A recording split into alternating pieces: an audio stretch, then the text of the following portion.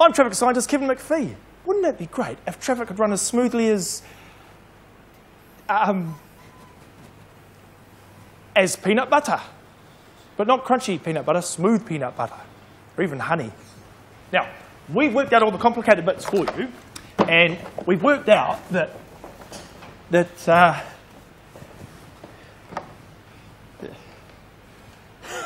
we've worked out that you can. Imagine this grain of rice is your car, and all these other grains of rice are other people's cars from the Kapiti Coast and the Hutt Valley. Now, every morning we're just tipping them down the motorway. There you go. Everybody all trying to get through at once. And you're stuck at the back there, feeling frustrated, worrying that you're going to be late for your business meeting and miss out on all those biscuits. Yum.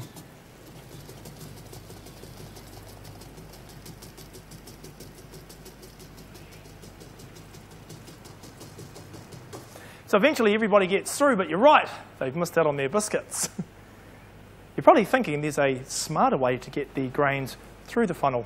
And you're right, I'd like to introduce my lovely assistant Jocelyn to operate the smart motorway. So, we've got the same amount of cars, same motorway, but Jocelyn will be operating the smart motorway.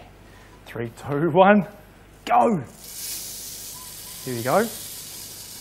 So Jocelyn puts the smart into the smart motorway because she's making sure. Goodness me, Jocelyn, you're too fast. You're going to be lapping me. Might as well go again. So Jocelyn makes sure that the cars go through at an optimum speed, which means they don't, all don't get stuck in a traffic jam, like, like these cars. so more cars, obviously, in uh, the same amount of time. Not very good drivers, these. These bits are rice, are they?